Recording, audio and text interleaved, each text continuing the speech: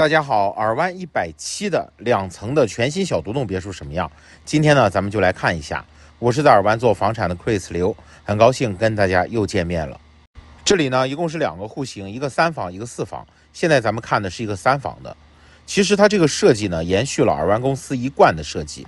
三房的呢，就是一进门一个卫生间，往前走就是车库，接下来就是这样的一个大客厅，一个拐角式的这种玻璃推拉门，外面就是一个院子。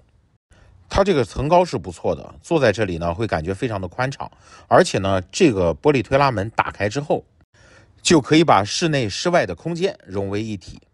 另外呢，这个厨房也是有窗户的，就在水盆的旁边，整体的这个空间感是不错的。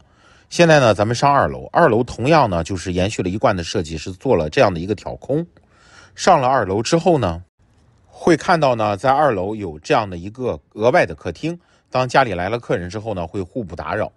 同样呢，在二楼有三间卧室、两个卫生间，还有一个洗衣房。现在咱们看到的就是这个洗衣房，左右放置的洗衣机、烘干机，上面呢会有这样的橱柜。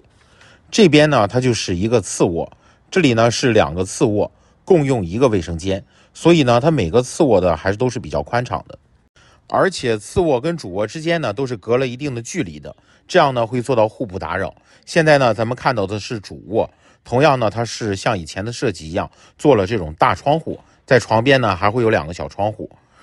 这边呢就是主卧的卫生间，有浴缸、有站浴、双水盆的一个设计。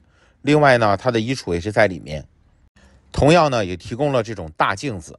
整个主卧卫生间是非常宽敞的。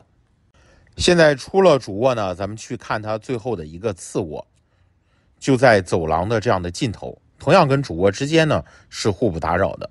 这个次卧的面积也是比较大的，同样是有三扇窗户。这两个次卧呢共用这样的一个卫生间，两面镜子，双水盆，然后里面是有浴缸，还有淋浴，这是一体式的一个设计，性价比还是不错的。更多的问题欢迎单独问我或者看我的朋友圈，谢谢。